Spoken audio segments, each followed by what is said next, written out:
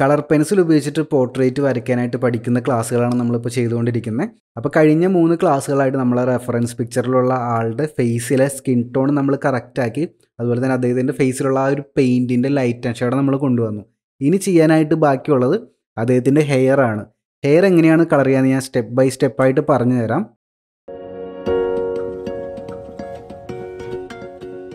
അപ്പോൾ ഈ ഒരു ചിത്രത്തിൽ ഞാൻ ആദ്യത്തെ സ്റ്റെപ്പിൽ ചെയ്തെന്താണെന്ന് വെച്ചാൽ അദ്ദേഹത്തിന്റെ ഹെയർ ജസ്റ്റ് ഒരു ചെറിയ ഔട്ട്ലൈൻ ഇട്ടിട്ട് അതിന്റെ ഷേപ്പ് ഒന്ന് മാർക്ക് ചെയ്ത് വെച്ചു.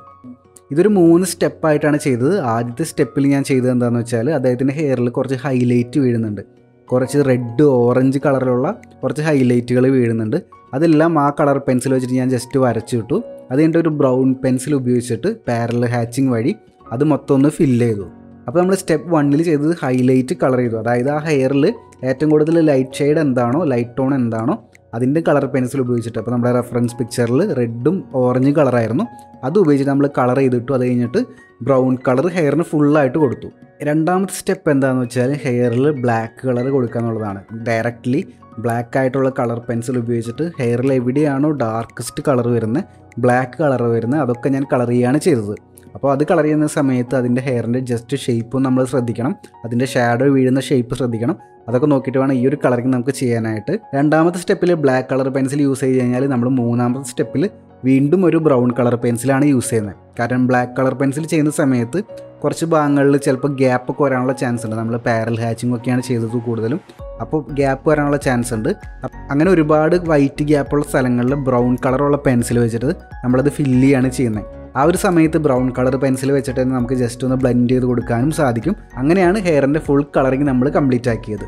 ഈ ഒരു മൂന്ന് സ്റ്റെപ്പ് പ്രോസസ്സ് ഫോളോ ചെയ്ത് കഴിഞ്ഞാൽ നിങ്ങൾക്ക് ഈസി ആയിട്ട് ചെയ്യാനായിട്ട് സാധിക്കും. ഇനി നിങ്ങൾ കാണാൻ പോകുന്ന വീഡിയോ ടൈം ലാപ്സ് ആക്കാത്ത റിയൽ ടൈം വീഡിയോ ആണ്. നിങ്ങൾ വീഡിയോ ഫുള്ളായിട്ട് കണ്ടു കഴിഞ്ഞാൽ നിങ്ങളുടെ എല്ലാ ഡൗട്ടും മാറും. എന്നിട്ട് നിങ്ങൾ ട്രൈ ചെയ്ത് നോക്കാം.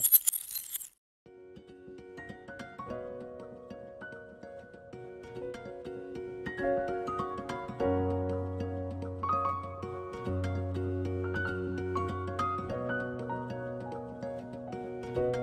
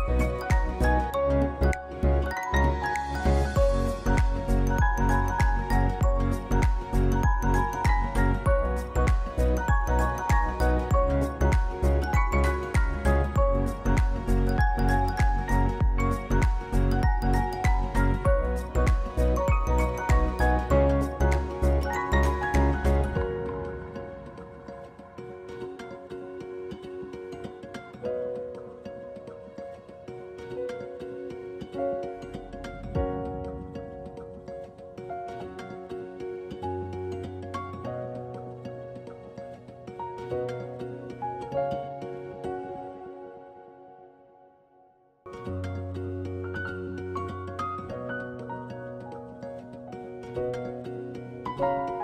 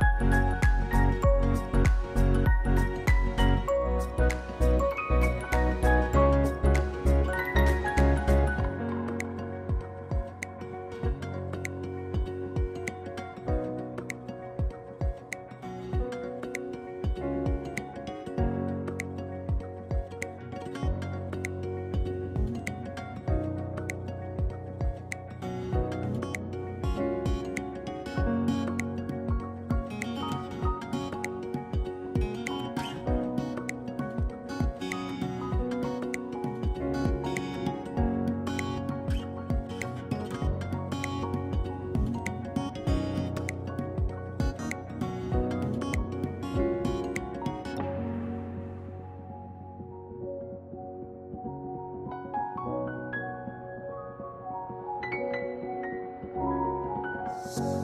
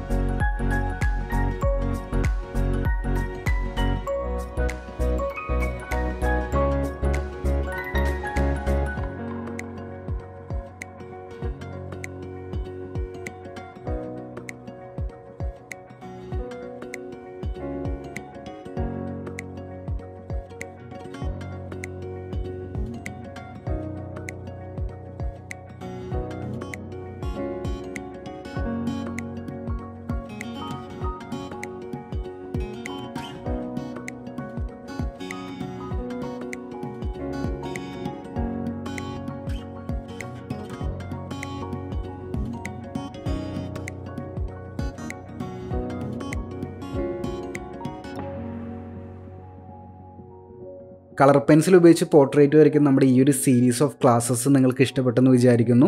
ഇതിന്റെ അവസാനത്തെ സ്റ്റേജിൽ ഞാൻ നമ്മുടെ പോർട്രേറ്റിൽ കുറച്ചും കൂടി ഡീറ്റെയിലിംഗ് കൊടുത്തിട്ടുണ്ട്.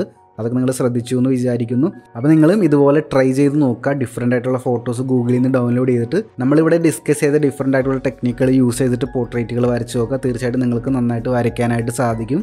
അപ്പോൾ ഈ ഒരു ചിത്രം നിങ്ങൾ വരച്ച് ഇൻസ്റ്റാഗ്രാമിൽ പോസ്റ്റ് ചെയ്യുന്നുണ്ടെങ്കിൽ അത് നിങ്ങൾ സ്റ്റോറി ആക്കുന്നുണ്ടെങ്കിൽ എന്റെ പേഴ്സണൽ പ്രൊഫൈലും ഹാഷ് ടാഗ് ആർട്ട് ചലഞ്ച് എന്ന് കൊടുത്തിട്ട് സ്റ്റോറി ആക്കുക. നിങ്ങളുടെ ചിത്രങ്ങൾ ഞാൻ ഷെയർ ചെയ്യുന്നതായിരിക്കും. അപ്പോൾ നമ്മുടെ പോർട്രേറ്റ് കളറിംഗ് സീരീസ് ക്ലാസ് നിങ്ങൾക്ക് ഇഷ്ടപ്പെട്ടെന്ന് വിചാരിക്കുന്നു. അടുത്ത ദിവസം മറ്റൊരു വീഡിയോ ആയിട്ട് നമുക്ക് വീണ്ടും കാണാം. എല്ലാവർക്കും നല്ലൊരു ദിനം ആശംസിക്കുന്നു. ബൈ